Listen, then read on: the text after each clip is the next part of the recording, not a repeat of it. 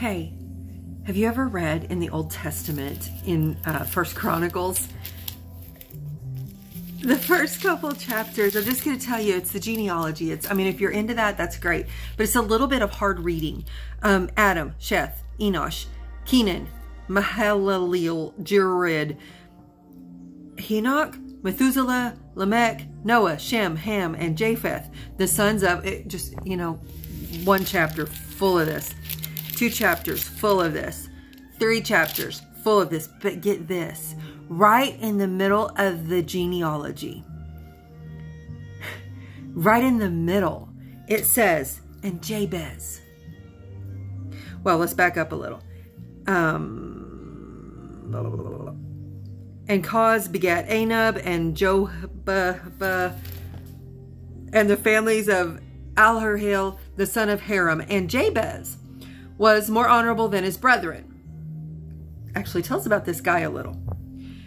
And his mother called his name Jabez, saying, Because I bear him with sorrow. Well, in in the Bible, names meant something. You didn't just willy-nilly name your child something because it sounded pretty. Um, they meant something. Um, and then you carry that name. And names have power, names have meaning, words. There's the power of life and death in our tongue. Um, like in the story of Ruth. Um, uh, and Orpah. They were both married to Naomi's sons, which one of their names was sick, one of their names was tired. No wonder they died early.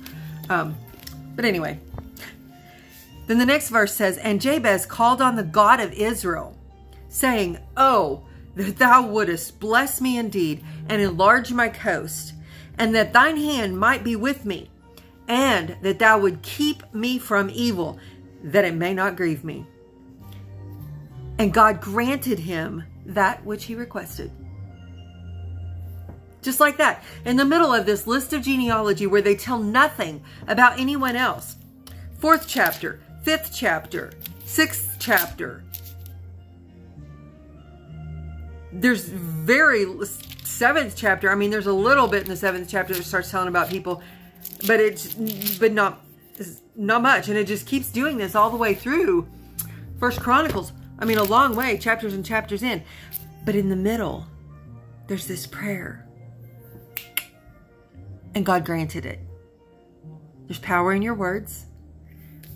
There is power in your prayer. Man, don't hesitate to pray for those you love. Don't hesitate to um, lift your needs up to the Lord. Seriously. And Jabez called upon the God of Israel. Did you know that we can still call on the God of Israel? We can still call on Almighty God. He says, when you pray, pray believing. He says, you have not because you ask not. He says, ask, seek. He's right there. He's right there. Can we just pray right now? Oh, God of Israel, God our Father, I just thank you for this moment. I thank you for those that are watching. I thank you for this day. And I thank you, God, for the very breath in our lungs. Without you, we would be nothing. Without you, we wouldn't have woke up this morning. Without you, we would have nothing. I thank you, Lord, for your miracles. I thank you, Lord, for your grace. And I ask you, God, that each person watching this, as we call on you, the God of Israel, that you would expand their coasts that you would bless them, that you would keep them from evil so that it would not grieve them, that you would grant their request. Lord, we thank you. We praise you. We know not only are you able, but you are willing and you will and you have. So we just praise you for it now. In Jesus' mighty and powerful and precious name. Amen. It's just like that. And he granted that which he had requested. Thank you, Lord. Thank you, Lord.